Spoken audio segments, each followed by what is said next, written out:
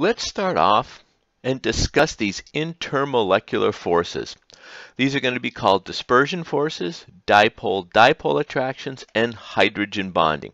Those are the forces that we usually associate with the transitions between solid to liquid to gas. And I think they are pretty universal throughout the galaxy.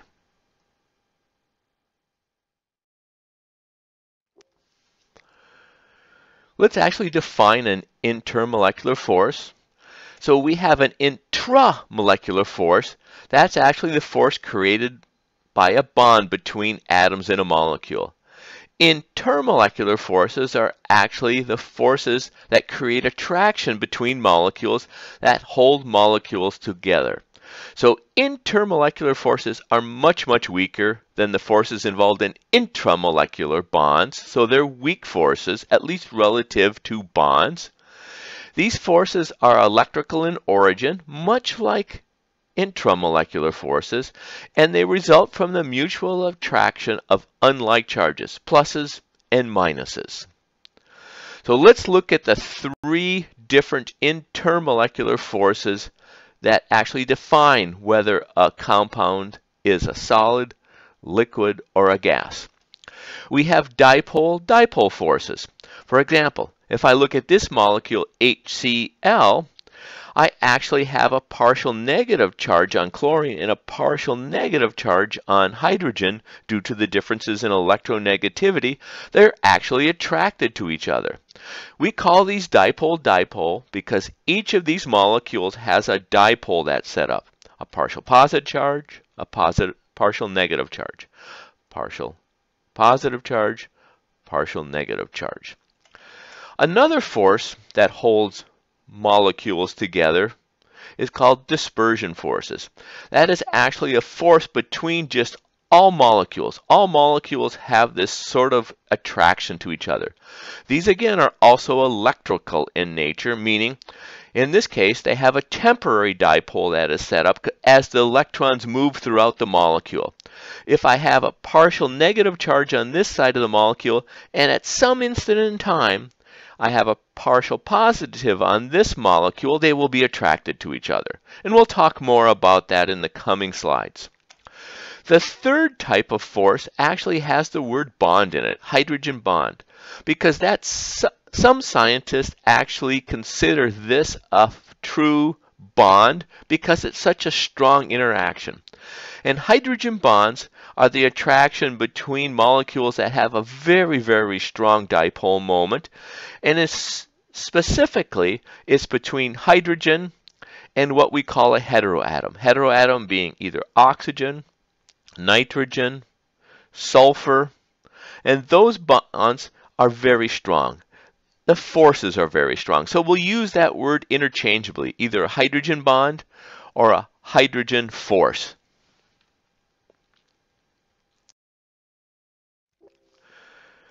Let's start by discussing the dipole-dipole forces in a little more detail.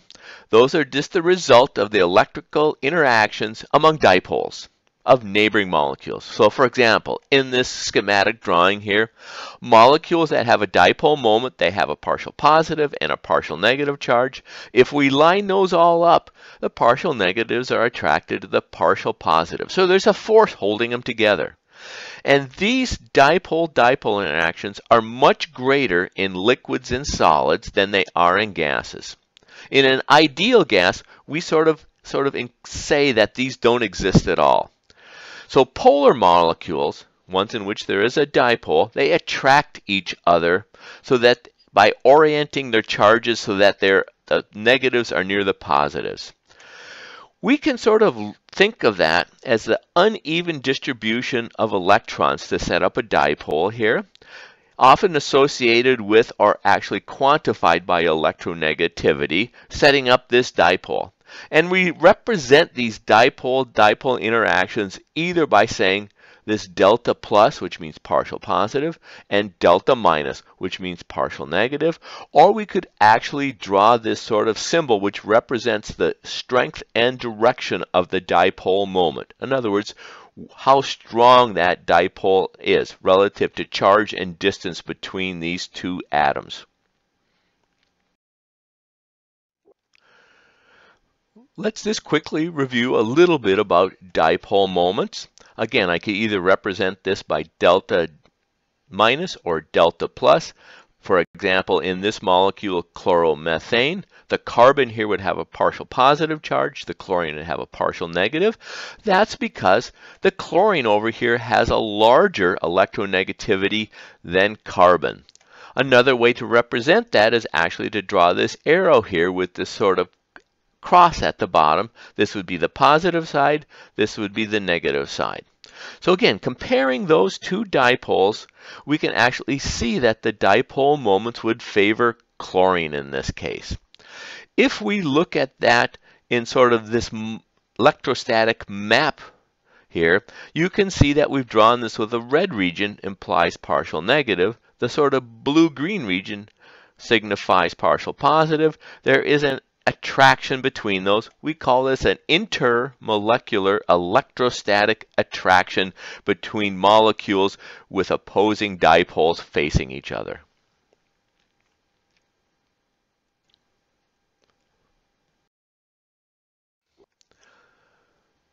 When we look at dipole moments and molecules, especially when we have complex molecules, we have two types of dipole moments. We have bond dipoles and we have total molecule dipoles.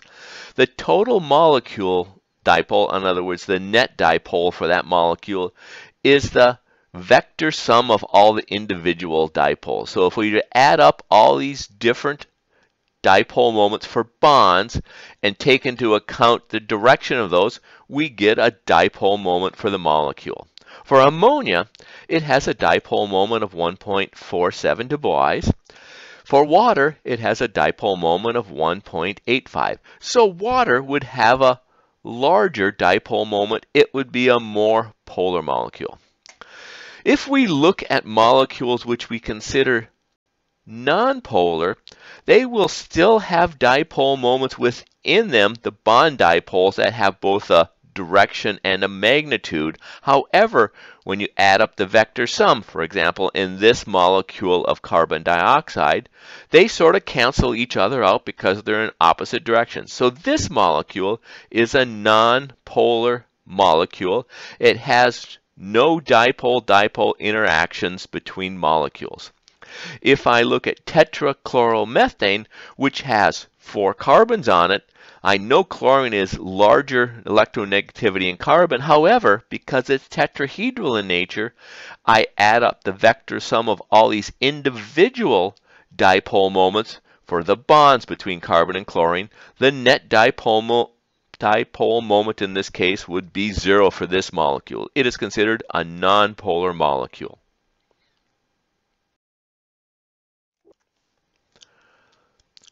Let's now look at the second type of intermolecular force that defines whether a substance is a solid, a liquid, or a gas. We're going to call this London dispersion forces, or sometimes just called dispersion forces now. These forces are the result of shifting motion of electrons within a molecule, even a nonpolar molecule, and we call that polarizability. Think of this as a very short-lived dipole moment that can be set up when electrons move to one side of the molecule from the other side of the molecule. So it is an induced temporary dipole moment by, at, relative to the neighboring molecules. We call these dispersion intermolecular attraction. So if I look at this molecule bromine, Br2, this would be a nonpolar molecule. However, if I could just shift electrons over to this side just for an instant, all of a sudden this side would have a partial negative charge and the other side would have a partial positive charge, which would influence the molecule next to it so it would attract electrons from this molecule over to this side and so forth. In other words, there's a intermolecular force between these two molecules that is temporary. So the larger the molecules, the more they interact with each other. So let's look at the molecule CH4, which again would be a nonpolar molecule. If we have, just for an instant, we have some of the electrons over on one side of the molecule, again, I'd have a partial negative charge, and I have a partial positive charge on the other side. An instant later, it might be evenly dispersed. And then I wait a little bit longer, the electrons can be over on this side of the molecule. And if I have other molecules of methane nearby, it will influence them. It needs to be noted that this type of force is present in every single molecule there is. individually, they're weak, but become important in very large molecules. Again, size is important. How much surface area they see between molecules dictates how much force there is between these molecules. The following graphic illustrates the fact that these dispersion forces increase with contact area between molecules. If I look at these two molecules next to each other, this is a pentane molecule, so it's got 5 carbons and 12 hydrogens. There is a lot of contact area between these molecules here, so they tend to have a larger dispersion force between them, attracting them together. If I look at this molecule here, this is 2,2-dimethyl propane. It also has 5 carbons and 12 hydrogens, but it's more compact. There's less surface area, more less interaction between these two molecules. So in this case, the London dispersion forces are actually less. This can be illustrated by the boiling points. Because there are interactions between these molecules, it takes more energy to actually go from a liquid to a gas, so the boiling point is higher for this molecule than it is for this molecule. This one has less interactions, less forces holding them together, so it's easier to go from a liquid to a gas in this state.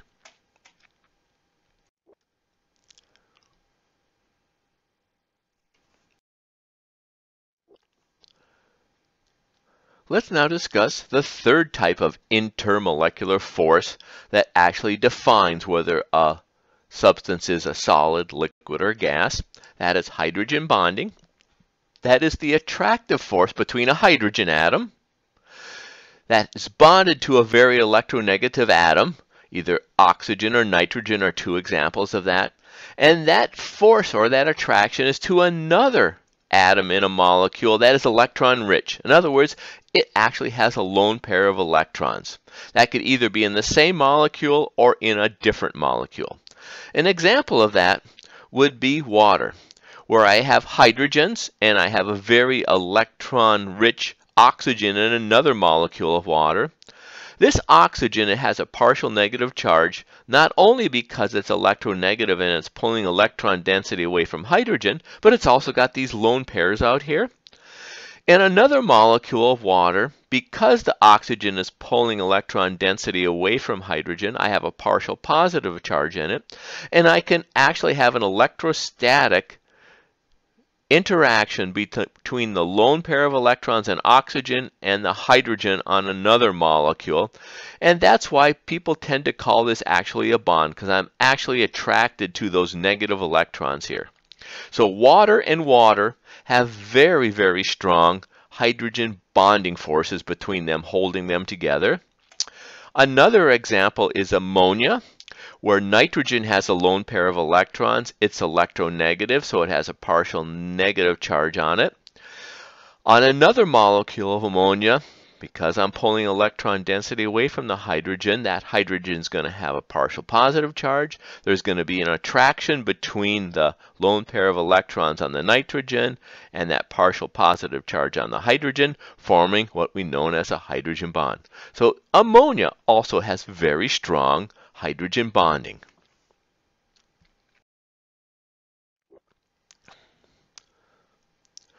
Hydrogen bonding is considered to be the strongest of the three types of intermolecular forces. One reason for that is that we're actually using a lone pair of electrons being attracted to hydrogen, but also because in the case, for example, of water here, this hydrogen here can hydrogen bond to an oxygen. This oxygen can hydrogen bond to another hydrogen on another molecule of water.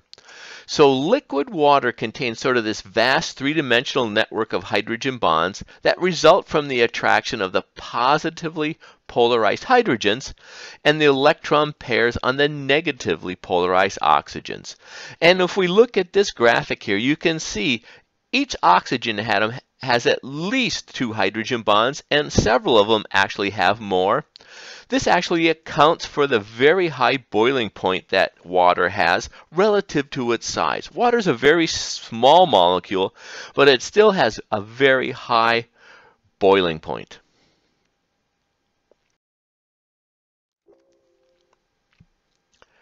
Hydrogen bonding can occur not only in molecules that are the same in chemical structure, but they can also occur between molecules that are different. Here's an illustration. If I look at water, water hydrogen bonds to water as represented by these black dots. If I look at methanol, methanol contains an oxygen. That oxygen has a hydrogen attached to it. That oxygen also has a lone pair of electrons. So it can actually hydrogen bond to near neighbors of methanol. When I mix methanol with water, I can actually hydrogen bond now between water and methanol, as illustrated here. Here's a water molecule. It's hydrogen bonding to this methanol molecule. This methanol molecule is hydrogen bonding to that water molecule. This methanol molecule is hydrogen bonding to this water molecule. When we mix these two together, we call this solvation. So whenever we have hydrogen bonding, two different molecules that actually can hydrogen bond, they usually are miscible, meaning they can mix together, and they form a homogeneous mixture, which we call solvation, the process we call solvation.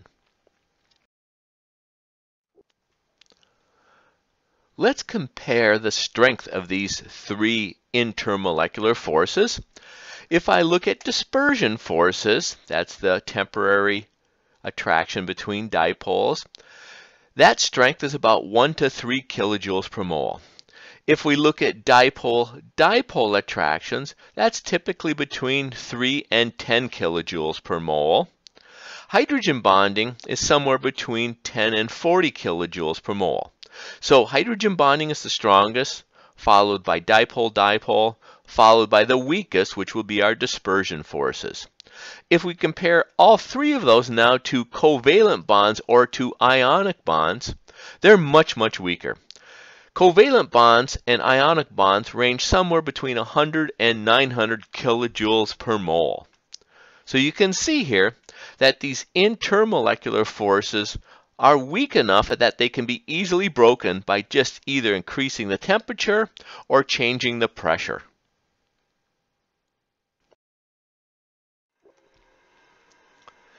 In addition to determining whether a substance is a solid, liquid, or a gas, intermolecular forces, like hydrogen bonding, play an important role in actually the genetic makeup of all living organisms. If we look at DNA, for example, DNA is a double strand in that strand, those are held together by these hydrogen bonds between the different nucleotides, which are guanine, adenine, cytosine, and thymine. And they're held together just by hydrogen bonds. These hydrogen bonds are strong enough in most circumstances to actually hold that double helix together. However, when a cell is either ready to duplicate or it's ready to be transcribed into RNA, it is easy to start breaking up those hydrogen bonds so we can start to replicate or duplicate the DNA.